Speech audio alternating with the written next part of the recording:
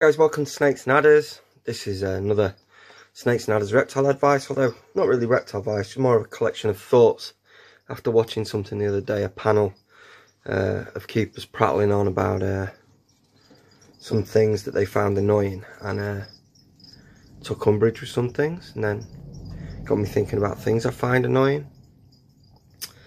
And I think I suppose the, the, the thing I want to protect in this video is the right of aspiration and the right to improve or set goals or want to become a better keeper. None of us come out of the box a awesome keeper. And you can do all the reading you like. Practical skill is different to theory. It just is. Some people don't like that idea, but it is. Predominantly it's snakes and adders. Me and Paul deal with uh, novice keepers and children.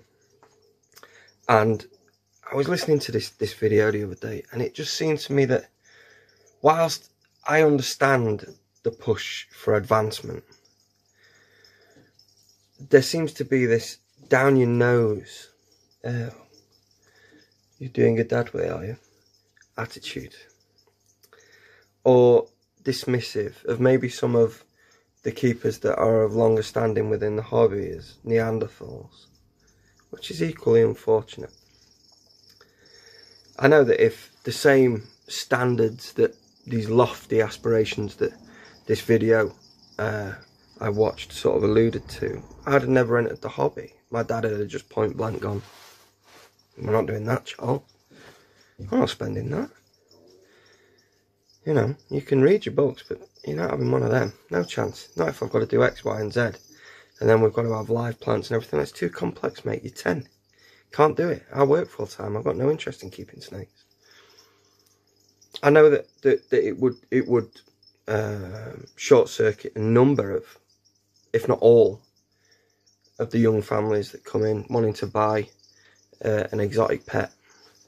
And I think the thing that maybe these guys forget is that the advancements that are made and the leaps forward in technological advancement, whether it's thermostats or UV, are done because there is money within this hobby to do that, to invest in R&D. And if you become snobby, then you stop the hobby growing. If you stop the hobby growing, there's no further investment. There's no further investment. There's no R&D. So the very reason that you get to enjoy your advancements is because there's money within this hobby and we get to invite people in on rung one and then through natural aspiration and seeing uh, keepers of higher station online keeping in a certain manner that people will seek to follow that standard of care.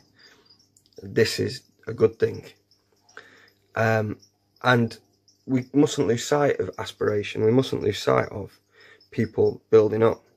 And one of the comments on the video that got me was like you know well i've been using this this thermostat for 30 years. And the pithy comment that came back was well it's the wrong thermostat. You've been doing it wrong for 30 years. Which is just being an arsehole, basically. When I think about the things that mechanically make a vivarium correct, or that mechanically work, mechanically sound, there's things that people see as advancements when actual fact they're parallels, they're not any different. Take for example, we'll just take one company, Microclimate had a B1ME and they released the OLED dimmer. Mechanically, for the animal within the enclosure, what is the difference? There isn't one. Day-night units have existed in this hobby for 30 years. A good five years longer than some of the people in this video commenting about the efficacy of day-night thermostats. A day-night thermostat allows you to modulate between day and night over a 24-hour period. The mechanism used changes. Sometimes it's a mechanical timer um, used in reverse, such as on the old Habistat units, or a lux meter, such as with the ME or Magic Eye units that used to be out by Microclimate. To release an OLED dimmer, basically, the same job is done digitally. So, there is no lux meter anymore. But where the lux meter was a boon and why we enjoyed it is the people of long standing who used the Magic Eyes would completely remove natural light from their reptile collections rooms. And then what they would do was be to erect strip lights that are then connected to a mechanical timer. The Magic Eye units would then look at those lights and with just one change of one mechanical timer, we could change the photo period for the entire reptile room. You can't do that with an OLED dimmer. So it wasn't about whether, I mean, some people liked it, some people didn't. But when you picked one and you worked with it, then there was a way of being able to do stuff and making it more efficient. And we learned how to get the very best out of the pieces of equipment. So, an OLED dimmer and a mechanical timer for the light source within the, the, the enclosure. You can control day and light, night uh, light cycle and day and night heat cycle.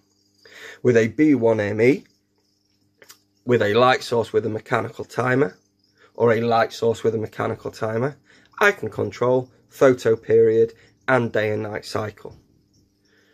What was the advancement?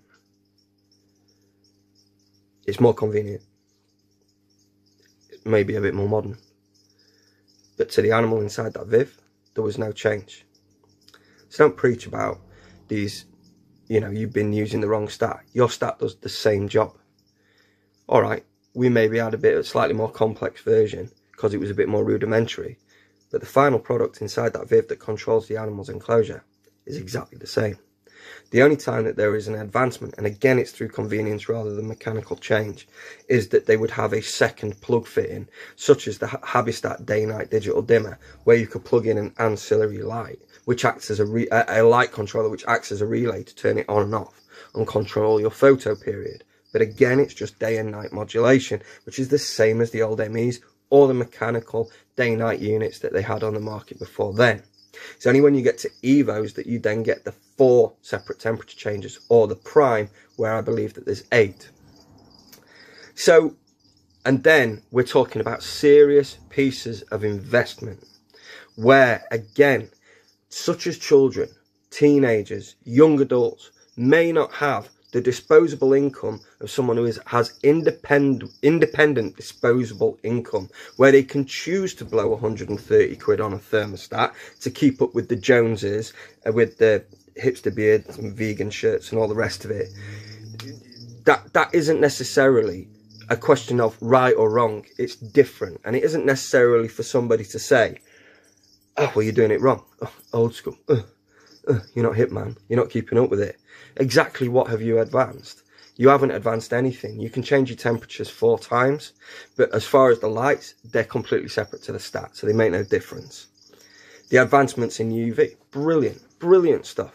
And people will catch up. When we, I first took on Snakes and Adders in 2003, there was Iguana Light uh, or ReptiSun 5.0 and they were T12 bulbs, so they were the really fat inch and a half jobs. Or there was um, a 2%. Then we transitioned to T8 tubes and we got an 8% tube. then a 10.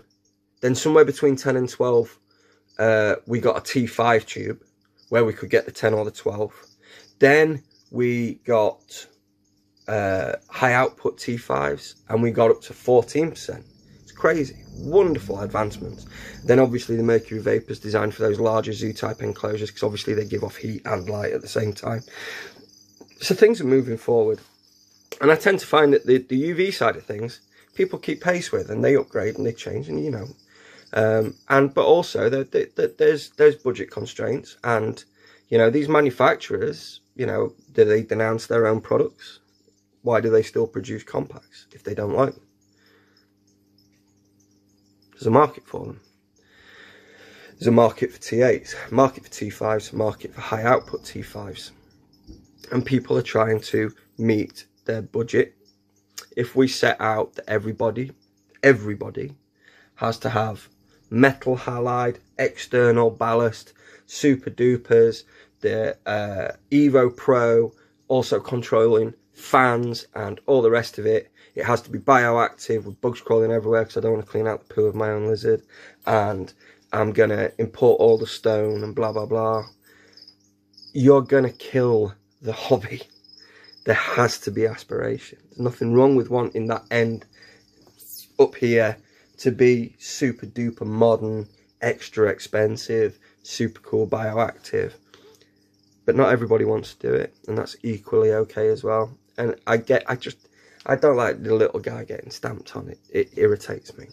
Um, and particularly the youngsters and stuff because they don't need it and they're going to be joining the social media circle soon and this disparaging uh, uh, hipster cool crap I got no time for no time for and I'll stamp on them instead